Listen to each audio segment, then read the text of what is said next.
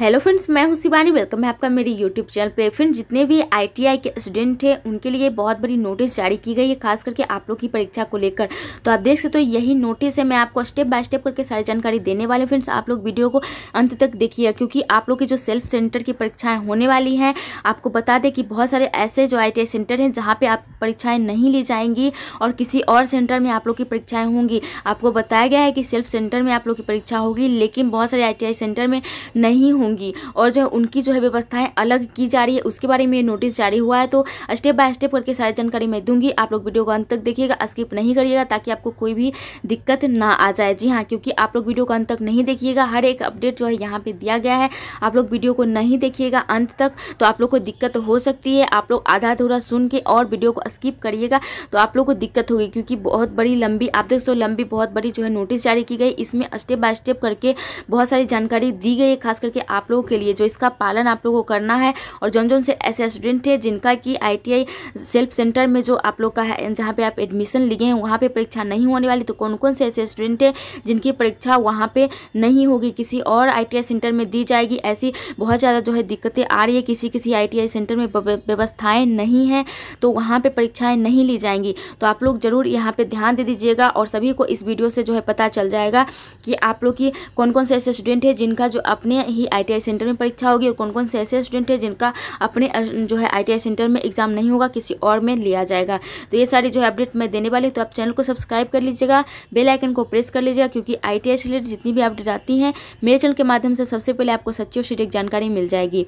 Video पसंद आए तो लाइक ज़रूर कर दीजिएगा, अपने अपने स्टेट का नाम कमेंट सेक्शन में ज़रूर बता दीजिएगा, ताकि आपके स्टेट का कोई भी अपडेट आता है तो मेरे चैनल के माध्यम से जानकारी आपको मिलती रहेगी। चलिए वीडियो को ज़्यादा लंबा ना करते हुए वीडियो को स्टार्ट कर लेते हैं।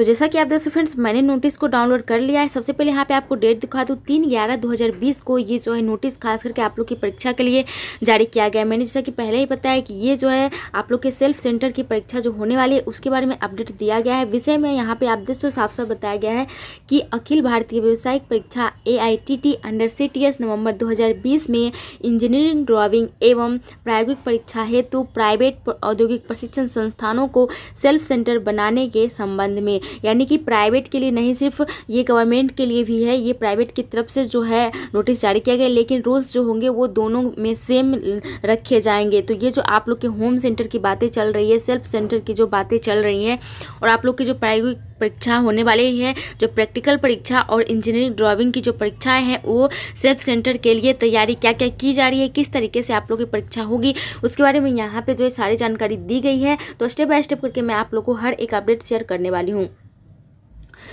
अध्यक्ष यहाँ पे बताया गया फ्रेंड्स कि महोदय, उपयुक्त विषयांतर्गत लेख है कि डीजीटी नई दिल्ली के पत्र क्रमांक एम एस डी दिनांक 19 बारह 2019 के तहत अखिल भारतीय व्यावसायिक परीक्षा A I T T under C T S में प्रायोगिक परीक्षा हेतु सेल्फ सेंटर के साथ साथ इंजीनियरिंग ड्राइविंग परीक्षा का भी सेल्फ सेंटर रखने के निर्देश दिए गए हैं। जी हाँ यानी कि आप लोग की जो प्रैक्टिकल की परीक्षा है, वो आप लोग को पता है कि वो ऑनलाइन ऐसे भी आप लोग जानते हैं कि प्रैक्टिकल की परीक्षाएँ ऑनलाइन नहीं हो सकती हैं।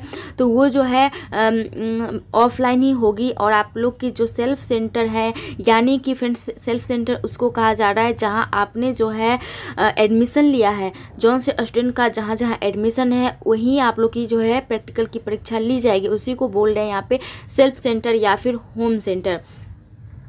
तो पहले जो है प्रायोगिक परीक्षा यानी कि प्रैक्टिकल की जो परीक्षा है, उसके लिए तय किया गया था कि आप लोग का जो है वो ऑफलाइन लिया जाएगा और सेल्फ सेंटर लिया जाएगा। लेकिन उसके बाद फ्रेंड्स जो इंजीनियरिंग ड्राइविंग की आप लोग की जो परीक्षाएँ होती हैं, उसको भी सेल्फ सेंटर रखने का जो है निर्देश दे दिया गया है और ये फाइनल डिसीज़न हो चुका है। तो उसी के बारे में यहाँ बताया गया कि डीजीटी आदेश की प्रति संलग्न है। जी हाँ उसके बाद यहाँ बताया गया कि अथ, अतः अखिल भारतीय व्यावसायिक परीक्षा A I T T under C T S नवंबर 2020 में इंजीनियरिंग ड्राइविंग एवं प्रायोगिक परीक्षा हेतु परीक्षा केंद्र संबंधित प्राइवेट औद्योगिक प्रशिक्षण संस्था सेल्फ सेंटर में ही रखे जाएँगे। तो यहाँ से जो क्लियर हो चुका है कि सेल्फ सेंटर जो है रखे जाएँगे। आप लोग की जो प्रैक्टिकल एग्ज़ाम्स हैं और इंजीनियरिंग ड्राइविंग, और भी अपडेट यहाँ दिया गया कि किस तरीके से आप लोग की परीक्षा होगी कब कब जो है कौन कौन से डेट को आप लोग को बुलाया जाएगा। तो आप लोग जो है वीडियो को अंत तक देखिए, स्किप नहीं करिए, नहीं तो आप लोग को दिक्कतें आ सकती है, क्योंकि ये सारी जो है नोटिस आती है, खास करके आप लोग के लिए ही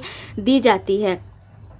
अब दोस्तों यहाँ पे बता दिए गए, परंतु यदि किसी प्राइवेट औद्योगिक प्रशिक्षण संस्था में मानदंड एफिलिएशन नार्मस के अनुरूप नहीं है और यदि संस्थान अपने केंद्र में अपने प्रशिक्षणार्थियों की प्रायोगिक एवं इंजीनियरिंग ड्राइविंग की परीक्षा आयोजित कराने में सक्षम नहीं है तो इस संस्थानों के विरुद्ध डी एफ़ डी एफिलिएशन की कार्रवाई प्रस्तावित की जाएगी और इनका परीक्षा केंद्र नज़दीकी राजकीय आईटीआई में रखा जाएगा। यानी कि आप लोग को यहाँ से समझ आ गया होगा कि यदि आपका आईटीआई सेंटर जो है, जहाँ आपने एडमिशन लिया है, वो पूरी तरह से जो है, ये प्रैक्टिकल की परीक्षा कराने में सक्षम नहीं है, उनके पास व्यवस्था नहीं है, बहुत सारे ऐसे ऐसे आई सेंटर हैं जहाँ की व्यवस्थाएँ कम है, वो जो है प्रैक्टिकल की परीक्षाएँ नहीं करवा सकते हैं।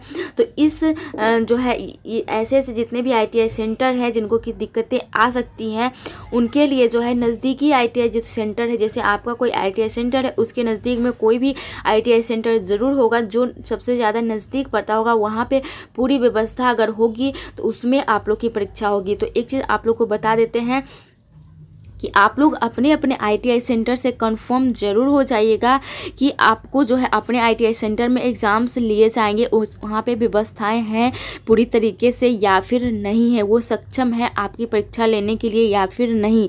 नहीं तो आप लोग को दिक्कत हो जाएगा इस वीडियो के माध्यम से। आप इस, इसलिए मैं बोलती हूँ कि वीडियो को आप लोग जो है अंत तक सुनिए, अंत तक जो है ध्यान से आप लोग देखिए। क्योंकि मैंने पहले बता दिया कि आप लोग की कन्फर्म हो चुकी है कि आप लोग की परीक्षाएँ जो है वो सेल्फ सेंटर पर होगी प्रैक्टिकल की और इंजीनियरिंग ड्राइविंग की। लेकिन फ्रेंड्स, यहाँ पे बीच में आप देख सकते हो, यहाँ पे साफ़ साफ़ क्लियर बताया गया है कि अगर व्यवस्था नहीं है तो आप लोग के सेल्फ सेंटर पे परीक्षा नहीं होगी। तो ये अगर आप ध्यान से नहीं सुनोगे तो आप लोग वीडियो देख के और कन्फर्म हो जाइएगा कि सेल्फ सेंटर पर ही परीक्षाएँ होने वाली हैं। और आप लोग जो है, ध्यान नहीं दीजिएगा, अपने अपने आई सेंटर में नहीं पूछिएगा और डायरेक्ट आप लोग एग्ज़ाम्स देने के लिए चले जाइएगा। तो इससे आप लोग को दिक्कत हो सकती है, इसलिए आप लोग वीडियो को अंत तक देखिए, क्योंकि और भी अपडेट यहाँ पे जो है दी गई है तो आप लोग पहले अपने अपने आई सेंटर में ज़रूर जो है पूछ लीजिएगा इस बात को कि आपके आई सेंटर जो है वो सक्षम है या नहीं है तो यही यहाँ पर जो है क्लियर किया गया है उसके बाद यहाँ बताया गया है फ्रेंड्स कि इसके अतिरिक्त यदि कोई संस्थान बंद हो चुकी है अथवा डी एफिलिएटेड की जा चुकी है तो इनके परीक्षा केंद्र भी नज़दीकी राजकीय आईटीआई में रखे जाएँगे। तो ये भी एक ध्यान देने वाली बात है। बहुत सारे स्टूडेंट ऐसे होंगे जो कि मेरी वीडियोस देख रहे हैं और उनका आईटीआई सेंटर जो है वो बंद हो चुका होगा। एडमिशन तो ले लिए हैं, लेकिन वो बंद हो चुका है तो इसमें जो है आप लोग को कोई भी दिक्कत नहीं होगी। आप लोग परेशान नहीं होइए। आप लोग की परीक्षाएँ होंगी, चाहे आपका आईटीआई सेंटर बंद हो या फिर ओपन हो। तो साफ़ साफ़ यहाँ क्लियर बता दिया गया है कि कि यदि कोई भी आई सेंटर जो कि बंद हो चुका है, उसका भी नज़दीकी जो आई सेंटर होगा, वहाँ पर आप लोग की परीक्षा जो है, वो ली जाएँगी। तो यहाँ पे जो है उस बात को भी क्लियर किया गया है। उसके बाद यहाँ बताया गया कि प्राइवेट औद्योगिक प्रशिक्षण संस्था को सेल्फ सेंटर बनाए जाने के आदेश आरसीवीटी जोधपुर द्वारा जारी किए जाएँगे।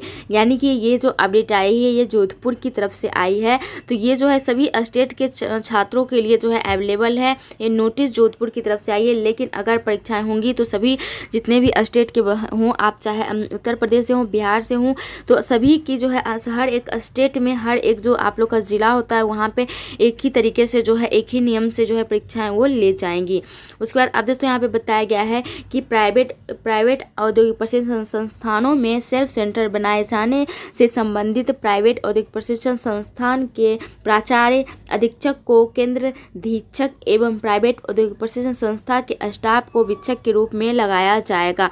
यानी कि मतलब एग्ज़ाम्स लेने के लिए प्राचार्य अधीक्षक जो होंगे और केंद्र अधीक्षक एवं प्राइवेट औद्योगिक प्रशिक्षण संस्था के जो स्टाफ होंगे, उनको परीक्षा में जो है आप लोग का जो है देखभाल करने के लिए लगाया जाएगा। ये जो है, आप देख सकते हो, ये जो है तीन तारीख को मैंने डेट भी आप लोग को बता दिया कि तीन तारीख को ये नोटिस जो है जारी किया गया है जोधपुर से। वो मैंने आपको पहले ही बताया था कि राजस्थान व्यावसायिक शिक्षा एवं परीक्षा, परीक्षण परिषद जोधपुर से ये नोटिस जो है जारी किया गया है, खास करके आप लोग की परीक्षा को लेकर। लेकिन ये सभी स्टेट के बच्चों के लिए जो है लागू होता है।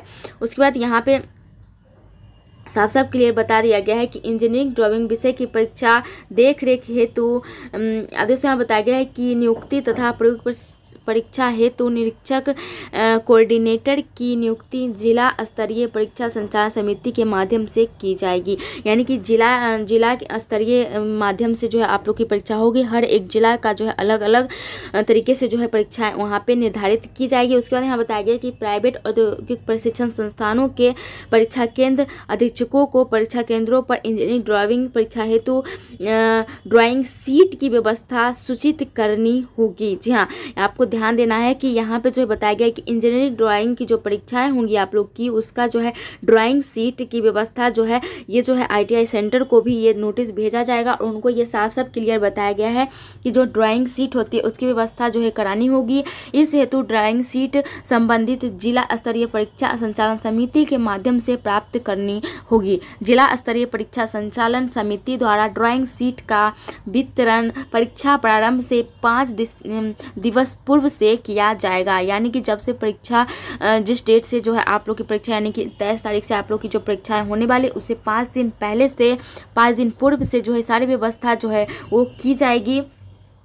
और ड्राइंग सीट का वितरण भी किया जाएगा। उसके बाद यहाँ पे बताया गया है कि सभी मान्यता प्राप्त प्राइवेट औद्योगिक प्रशिक्षण को निर्देशित किया जाता है कि संस्था के समस्त फर्नीचर स्टूडेंट टेबल स्टूल इत्यादि की मरम्मत करवा कर उपयोग की स्थिति में रखे ताकि परीक्षा सुगमता से संपन्न हो सके। ज्ञात रहे इंजीनियरिंग ड्राइंग की परीक्षा हेतु ड्राइंग सीट की साइज़ अड़तीस गुना अट्ठाईस सेंटीमीटर हो। अतः इंजीनियरिंग ड्राइंग परीक्षा हेतु ड्राइंग सीट माप अनुसार आवश्यक होना। यहाँ पे जो है आई सेंटर को ये निर्देश दिया गया है कि परीक्षा से पहले जितनी भी जो फर्नीचर्स हैं, उनकी जो है मरम्मत करवानी चाहिए ताकि जो है आप लोग की परीक्षा में कोई दिक्कत ना हो।